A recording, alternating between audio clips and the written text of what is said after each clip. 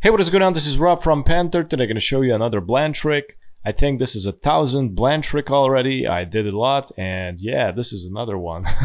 Let's do this.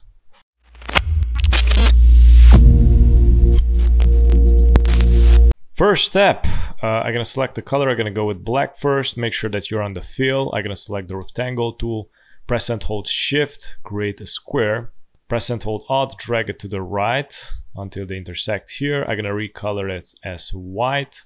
Select both, press and hold alt, drag it to the right until they intersect. Press Control uh, D, Control D again. I'm gonna select these now without the black square here and drag it down until they intersect. And I'm gonna delete this last white square. So it looks something like this. Select them all press and hold Alt, drag it down until they intersect, press Ctrl D. I'm gonna select these, the four black squares like that. I'm gonna create a new copy of those also. So this is how it's gonna look like. Select them all, right click and group.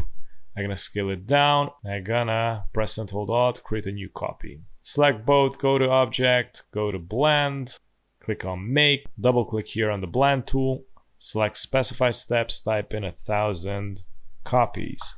I'm gonna work with this copy. So basically we are talking about, you know, a stroke line. So this is a stroke line. You can create, you know, strokes. So this is a stroke. Click on it, select the color for it. Make sure that you don't have anything in the field. Click on none. And, you know, you can create all kind of stuff. But for me, I'm gonna work with this uh, letter that I just created. Okay, I'm gonna scale this down, press and hold shift.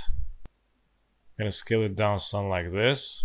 Select both of these, go to Object, go to Blend, and replace Spine. And voila, that's how you make this square blending. Thank you so much for watching, and if you're new on the channel, don't forget to subscribe and hit the notification bell so you get notified with daily updates, and also check out the rest of the videos at the end. Have a good one. Bye-bye.